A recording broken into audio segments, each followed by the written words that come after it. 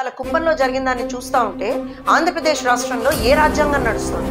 జగన్ రెడ్డి మీ రాజారెడ్డి రాజ్యాంగం నడుస్తుంది ఇవాళ రోజున? ఎంత ఎంత అసహ్యకరమైనటువంటి ఒక వాతావరణాన్ని ఒక భయానకమైనటువంటి వాతావరణాన్ని మీరు ఇవాళ రోజున రాష్ట్రంలో క్రియేట్ చేస్తున్నారనేటువంటి ప్రజలు చూసి నిజంగా కూడా అసహ్యించుకుంటున్నారు. మీ ప్రభుత్వాన్ని చూసి అసహించుకుంటున్నారు ఎందుకనంటే ఇవాళ రోజున చంద్రబాబు నాయుడు గారికి పెరుగుతున్నటువంటి ఆదరణను చూసి మీరు ఇంత భయపడి భయమా?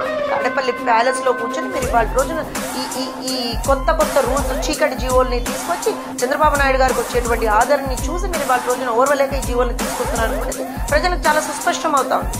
రూల్స్ రెగ్యులేషన్స్ యాక్ట్స్ ఇవన్నీ కూడా కేవలం ప్రతిపక్ష నాయకులకి ముఖ్యంగా తెలుగుదేశం పార్టీకి మాత్రమే వర్తిస్తాయా?